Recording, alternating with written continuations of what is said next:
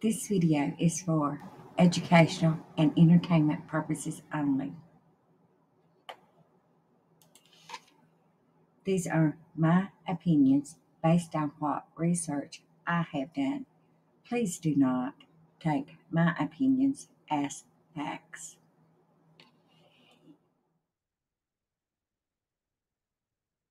More chilling information has come out about Chris Watts.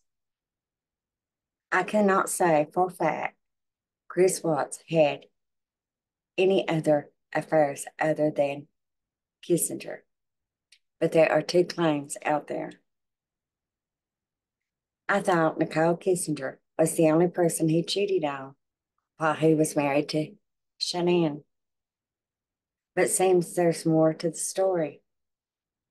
Seems Chris, while married, was a naughty young man, allegedly cheating with a couple of people. The story gets crazier and crazier. Allegedly, two people have came forward and stated they had relations with Chris. Buckle up, this story keeps getting weird to me. It shocked me. I never thought about him having an affair with anyone except Nicole.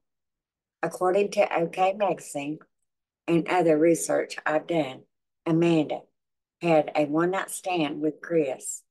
They had got in touch on the app, Tinder app, a dating site. They agreed to meet up at Chick fil A. From there, eventually, they headed to her house. Amanda said it was a one night stand and it was rough stating that she did not go for the sex they had. Actually, Chris was using the words he was separated to convince her to see him. Makes me wonder if he is constantly using I'm separated just to convince himself that he's doing nothing wrong. Or was he using that line to convince others to be with him or to get pity? Also, another document obtained by OK Magazine stated a male named Trent allegedly had a 10 month relationship with him in 2018. As of this video, Chris Watts has denied having any other relationships other than with Nicole. After watching some of the videos, and the police questions and seeing Amanda in the interrogation room. Amanda claims Chris was funny, charming. But then while Amanda speaks to investigator, she and Chris met on Tinder and they text. And the first time they met was for coffee. In this part of the story, it's Starbucks, not Chick fil A. At this point, I begin to question. It all didn't match up to me with the other story that she had said. Watts claimed that Chris told her that he was divorced. After they met up, they allegedly headed to Amanda's place to watch a movie. What movie? A thriller, Shattered Island. The movie is about a husband who takes his wife's life because she had taken the lives of his children. This is when I started to think again. Remember when Chris first confessed, he said Shanann had taken his children's life. That's why he took hers, which I know now is not true. But did he get the idea first saying that because of the movie? Amanda says that night was the first time they had sex. She says Chris was very rough. She said it was like he had zoned out into another person. She also states he placed his hands around her neck and it freaked her out. It's not all adding up. In this part of the interview, She's stating it only lasted a couple of weeks. Then Chris started seeing Nicole. During the video, Amanda breaks down in tears. She only seen Chris again in the news media when he was arrested since they broke up. Let's now talk about Trent. I'm intentionally not saying the last names, even though it's public information. In the investigation room, an officer speaks with Trent. Officer says he believes Trent, but you know how police are. Sometimes they go along with any story just to get you to talk more. Trent meets with a reporter. Some have said Trent was a male escort. He clears it up with the reporter saying that he wasn't. In the video, I have no idea what is true. Hearing stories from two different people claiming they hooked up with Chris. If it's not true, how would they be saying this? How would they be making up such a story? Chris has denied ever hooking up with them. He claims the only person he hooked up with was Nicole. It's like a revolving door continuing to spin around. Trent claims he and Chris would meet. They would go to a motel room. Trent also goes on to say that Chris paid for him to have Botox and lip injections. So if this is true and Chris is paying for all this, where did Chris get the money? If it was from an account he and Shanann had together, how did he keep it from her?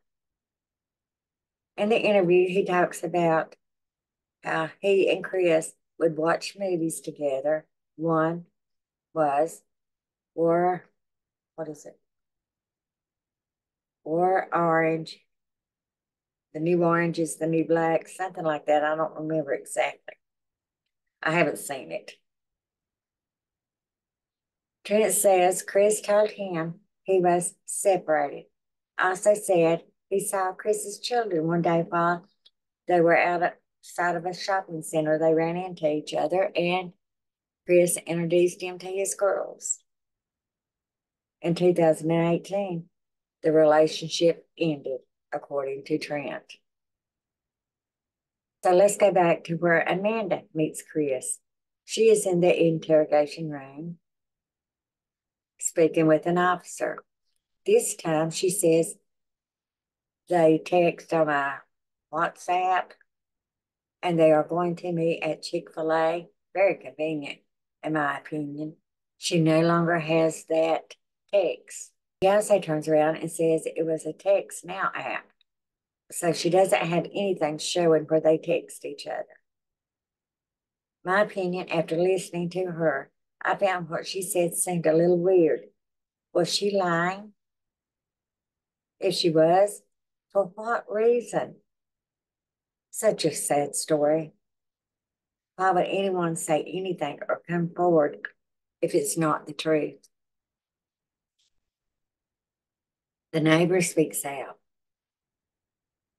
This is where we get into what the neighbor saw or what the neighbor's camera shows. The neighbor, I decided not to mention his name. He has a video camera at his home, maybe a ring camera or something like that. I don't know exactly. The police, along with Chris, head over to watch the video. As they watch the video, Chris seems nervous. His movements sway back and forth. His hands clasp round his head as he sways. Chris takes his eyes off the video, turns away with a solid stare. This is when, in my opinion, I think Chris realized he was caught. The neighbor's camera catches motion Watching the footage, Chris seems sweaty and scared. Chris argues about the camera probably wouldn't pick up anything. The neighbor points out all the directions the camera will pick up. As the neighbor explains, Chris looks extremely stressed. Chris is constantly texting on his phone, ignoring the video. I don't know about you, but if it was me looking at the video, it could possibly give me information on my missing family. My eyes would be glued watching.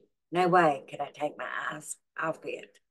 Chris leaves the neighbor's house. The neighbor tells the officer something's not right with Chris. The two continue watching the video.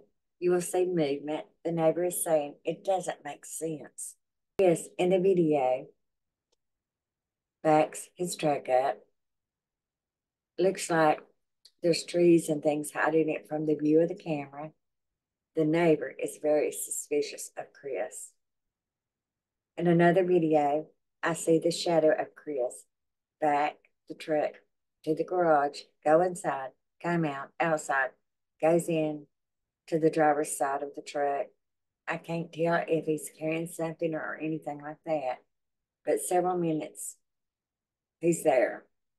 Before I see him return back into the house, I can't help but wonder why he was spending so much time out in his truck.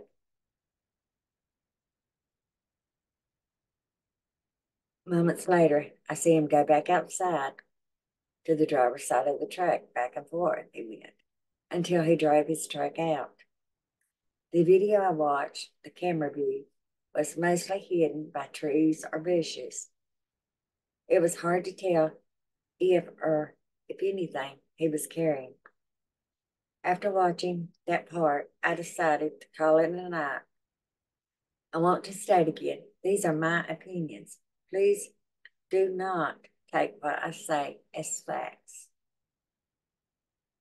Tell me what you think about Chris's actions. Is this normal? Was he being normal? And I say, please do not send any hate to anyone and thank you.